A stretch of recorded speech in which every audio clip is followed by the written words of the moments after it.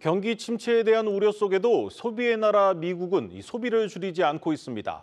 미국 연말 쇼핑 대목으로 꼽히는 블랙 프라이데이에 이어 사이버 먼데이도 매출액이 사상 최고치를 기록했습니다.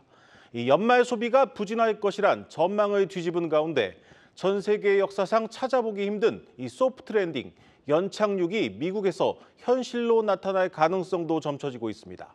박찬휘 기자입니다.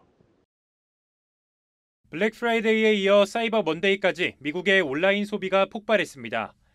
블랙 프라이데이 온라인 매출은 98억 달러로 전년 대비 7.5% 급증했고 사이버 먼데이 매출도 같은 기간 7% 늘어난 124억 달러를 기록했습니다.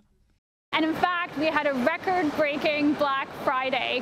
On average, customers purchased more than 1,000 items per second through Black Friday.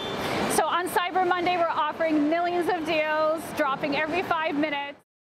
고금리 장기화에 따른 소비 심리 위축으로 사람들이 지갑을 닫을 것으로 예상됐지만 우려와 달리 온라인 매출액이 사상 최고치를 갈아치운 겁니다. 미국의 4분기 소비가 살아난 것이 확인되자 시장에는 낙관론이 다시 고개를 들었습니다.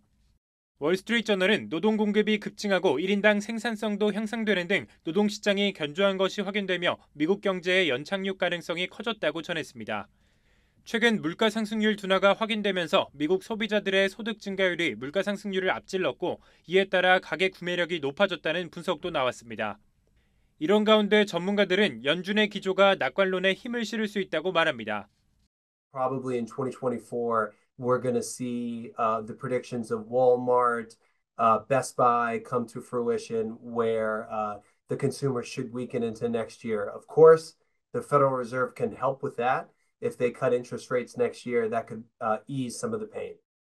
앞서 오스탄 굴스비 시카고 연은 총재는 인플레이션이 빠르게 둔화되는 등 통화 정책의 효과가 확인되고 있다며 내년 금리 인하 기대감을 키웠습니다. 다만 아직 변수는 남아 있습니다. 오는 30일 예정된 오펙 플러스 정례회의에서 깜짝 추가 감산 조치가 나온다면 가계 지출에서 큰 비중을 차지하는 휘발유 값이 반등해 인플레이션 우려를 다시 키울 수 있습니다. 또 내일 새벽 연설이 예정돼 있는 연준 주요 인사들이 연말 소비 과열을 우려해 매파적 발언을 내놓는다면 고금리 국면 장기화 우려가 다시 살아나면서 증시 낙관론은 힘을 잃을 수 있습니다. 한국경제TV 박찬입니다.